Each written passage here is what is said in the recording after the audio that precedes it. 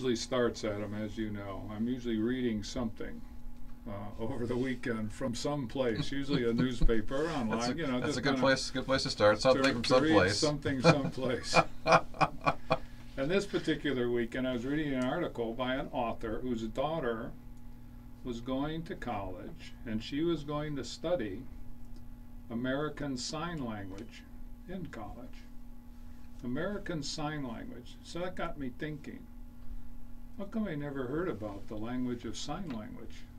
Like, I, I, I gotta believe when, when I when I say things like this, I know there are a lot of people who are well schooled on different subjects, but I think the majority of people tend to think like me. I'll I'll bet on that any day. So I have a simplistic view, thought of that is, hey, sign language. I never thought about. It. I thought it was one universal language. You know, a dog is a dog. Uh, you know, uh, it's it's not it's not true that American versus French, etc. But it is true. It, it basically sign language is not universal. There are over a little research here. There are a little over 300 sign languages in the world, and French is French. And it generally follows the sign language will follow the language that basically the country of, of origin uh, dictates. Wait, so they have a, they have a different alphabet that, that, that, that they use. And you say it's a different language. Well, I don't think you have alphabets. You have symbols. That's what I was saying. A dog should be a dog, but no, not true. Okay. There's there's uh, there's characteristics of the particular language. Again, over 300, 300 sign languages in this country, and, and in the world. And there are over 6,900 known living languages in this in the world. So 6,900 living languages and 300 approximately, and they say they really can't pin it down that good, uh, but 300 sign languages in the world. Now, how come I never heard of this? That's the how come question again. And what we like to do with how come is, all right, try and figure it out. We got a couple guys in the studio here who are pretty good, so uh, we'll, we'll, we'll be talking to them later to get more insight on the, the language of sign language. But uh, we like to basically we like to to take a how come question and turn it into some application to a small business. So how come I never heard of American Sign Language in the world of sign languages? I always thought one one size fit all, but how wrong was I? But one of the things that came to mind here and does come to mind continually is I never heard of it because we have a marketing issue here marketing basically marketing your business comes about there's three components. Target your customer create a message for your customer and deliver it through some channel. That's how we teach it. Well basically one of the first objectives of good marketing is to make your target clients aware of you. Now somebody in the sign language business isn't doing a real good job at least from from my point of view. They aren't doing a real good job of making people aware of the differences. Is it a big deal? I don't know. I mean, it isn't to me at this point, but it's an interesting concept.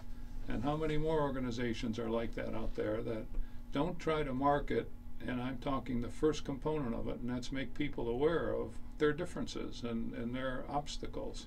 Well, it's become a more common thing. If you look at, you have big speeches or things that are kind of going on, you often have you know, in the corner, here's somebody who's signing that speech, right? Or if they're, you know, if they're singing the, the, the national anthem or something like that, often they'll be they'll be signing the anthem along with them, right? So, That's so become more bring common. in somebody who to uh, sign languages French to uh, an No, that's, American true. that's a audience. great question. They, they, uh, they, they don't say that. Here they are just signing along. To your point, it's just saying, here it is. It, like assume it's it's one universal language. That's how it's presented. that's how it seems. That's Yeah. correct. And and I, I got to believe most people who do look at that think that same way, or they never think about it. All right. So so who so come back to your marketing point here. So who is their target market? Do you think? Who should they talk? I'm guessing maybe maybe they, they are doing. a good- I'm going to take counter. Maybe, maybe they're doing a great job of this, but you're not who they're targeting, Jack.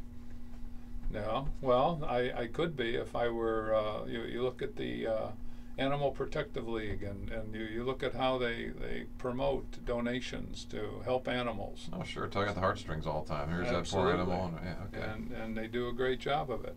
Well, what are the what are the difficulties in being deaf, and that's only one component. There, there are many uses for and, and reasons for sign language. Uh, you know, you have it in the military. You have it when electronics go down. You, you have a lot of a lot of sign language issues that most of us don't think about because nobody's trying to make us aware of it. So yeah. So what what do you do? You know, how should they promote? Well, like anything, they have to come up with a definition of their target. And I know if they were to spend uh, a good day or two with some pretty pretty bright people, they would basically have an outline of multiple targets that they want to reach, and then from there they're going to create a message. They're going to get a good PR woman or maybe a guy, I don't know, but uh, uh, get a good PR person to help the cause along here, and see what we can see what we can do. But that's how I look at this, and that's not what's being done.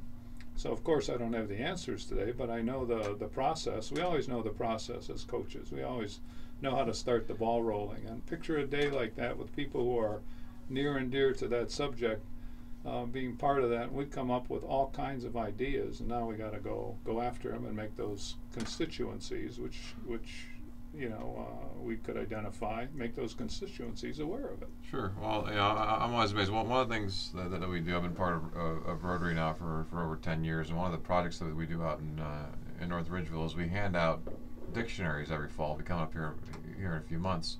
We out dictionaries to every third grader who, who's in North Ridgeville. That's cool. That's And, a cool uh, idea. I know. You, I remember you talking about. So the, the way the dictionary is set up, though, Jack, it has more than just you know just a, a basic dictionary. It has a lot of uh, other pieces and parts to it. But one of the pages that, that, that's in there is a page of sign language for the alphabet, and it is without a doubt. you All right, know- I got a test you right here. Is it an American sign language? I don't know. I haven't I haven't thought about it, but it, it never fails. little- yeah, there should be a little footnote there. Not well. When I present this year, I'll, I'll present it a little bit differently, right? it, it, it never fails. A couple things. One is it's always one of the one of the favorite pages that, that, that the kids have, and the first thing that they do, they start to, they start to sign their name, right? They're, they're trying to figure those things out. They start to sign mom or dad or something like that. And every year, again, there's about 330 kids in our town, and so as we go to, d- d- d- different classrooms, there's usually multiple kids during the during the course of that of that morning that will say, "Hey, yeah, I've got a a, a, a brother, or sister, a cousin, and somebody who who who, who speaks sign language." So, so I already know sign language. It's and so I think it's more common than many of us, you know, would would know otherwise. It's just not talked about very much. That's right. That's right. You know that, that that's awareness. I mean Right. that's the the one of the basic pillars of good marketing. So do they need money, and how do they raise that money? How how does that happen? So there's a wide audience that uh, that basically they can appeal to. Absolutely. So